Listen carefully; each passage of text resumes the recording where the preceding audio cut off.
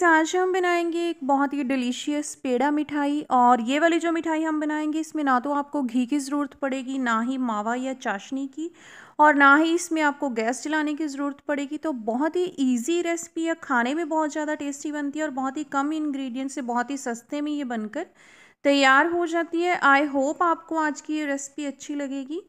तो इसे बनाने के लिए हमने सबसे पहले दो पैकेट लिए हैं पार्ले जी बिस्किट के। ये मैंने जो टेन रुपीज़ वाली पैकिंग ली है, आप इसकी जगह पे कोई भी बिस्किट ले सकते हो, चॉकलेट बिस्किट आप यूज़ कर सकते हैं या किसी भी और ब्रांड की मीठे बिस्किट हैं जो वो यूज़ कर सकते हैं।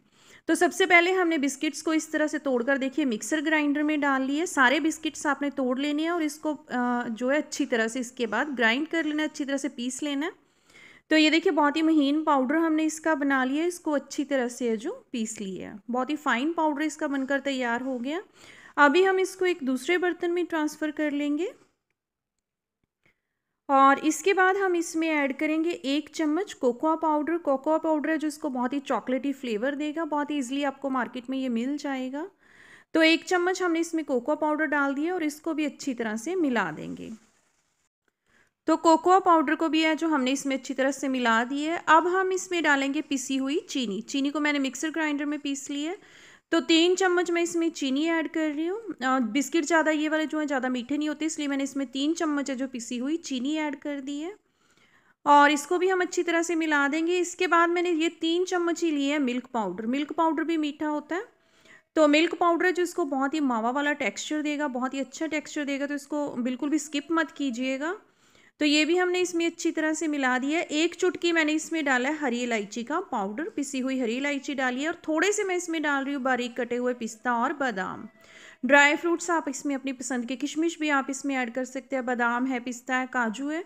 तो ये वाले ड्राई फ्रूट्स हैं जो आप इसमें ऐड कर सकते हैं। तो इसको भी हमने इसमें अच्छी तरह से मिला दिया है।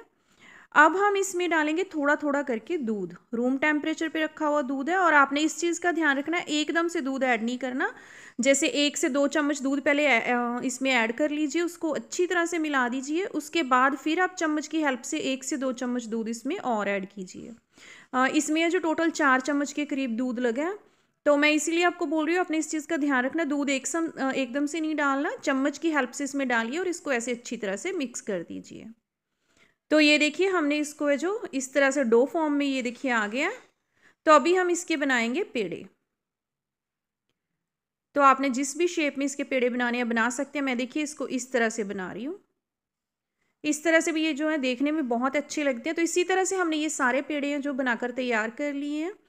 और टोटल इसमें से जो बारह पेड़े बनकर तैयार हुए हैं। अब मैं इसको ऊपर से जो सिल्वर वर्क इसके ऊपर लगा रही हूँ। आप जैसे भी चाहें इसको गार्निश कर सकते हैं।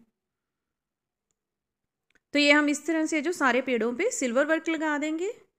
और साथ में मैं इस पर थोड़े से जो बारीक कटे हुए पिस्ता और बादाम लगा रही हूँ। इससे जो इनकी लुक बहुत ही प्यारी और देखने में बहुत ज़्यादा अच्छे लगते हैं। और ये देखिए, ये मिठाई है ना, कहीं से भी ऐसी नहीं लग रही कि हमने घर पर बनाई है। बिल्कुल मार्केट जैसी ये मिठाई बहुत ही कम पैसों में बनकर तैयार हो जाती है। और ये देखिए, बच्चों को तो ये वाले जो पेड़े बहुत ही ज़्यादा पसंद आने वाले हैं। और घर पे अचानक से मेहमान आ जाते हैं या आप झट से कोई मिठाई बनाना चाहते हैं तो आप ये वाली रेसिपी ज़रूर ट्राई कीजिएगा। और चैनल पर नहीं है तो चैनल को सब्सक्राइब ज़रूर कीजिएगा, बेल आइकन को प्रेस कीजिएगा। जल्दी ही हम लोग मिलेंगे एक और नई वीडियो के साथ। तब तक के लिए बाय, टेक केयर।